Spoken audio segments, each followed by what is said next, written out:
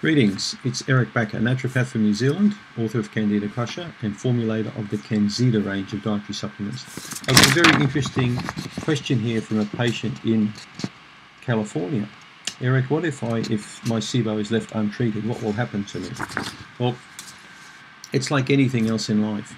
You know, if you tend to turn a blind eye to something, you know, that's a small problem, in the beginning, in the end, it will become such a big problem that you can't turn a blind eye to it anymore.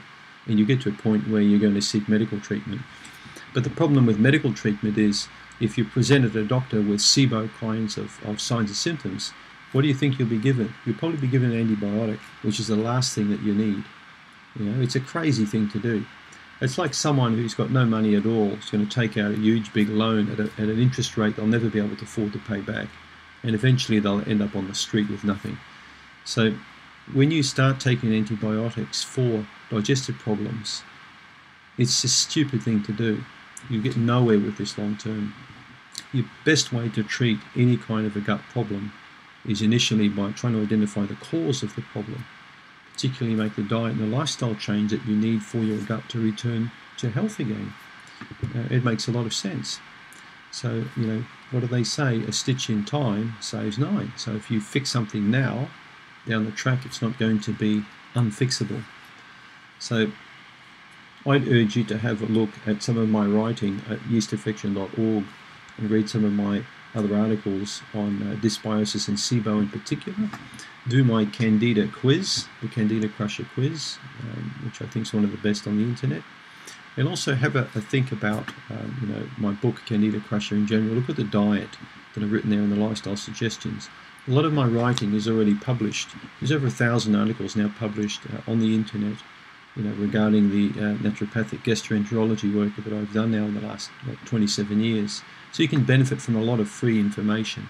If you're stuck, you can always uh, have a consultation with me uh, through ericbakker.com just go to my .com website. Um, I'm always willing to see patients. I've seen a lot of patients now, and um, it's really um, great that I can help so many people out through this medium of the internet.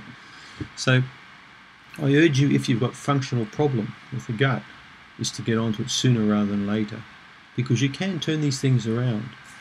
And if you get there in time, you know you'll be able to save yourself a lot of problem.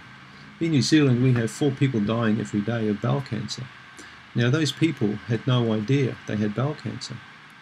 And in this country, 34% of people who get diagnosed with bowel cancer are terminal. So when they're diagnosed, they have metastases to various parts of the body. Now, they never had any pain. They had no problem. They just went through life with bloating, with gas, with no problem at all. Until one day they were passing blood. And then it was too late.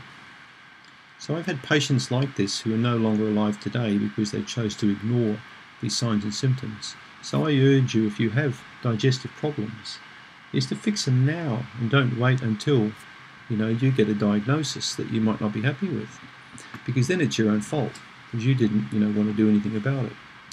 So yeah, it's not really a, a nice video today, but it's one that I think you know I really want you to think about it. Uh, problems need solving sooner rather than later. Thanks for tuning in.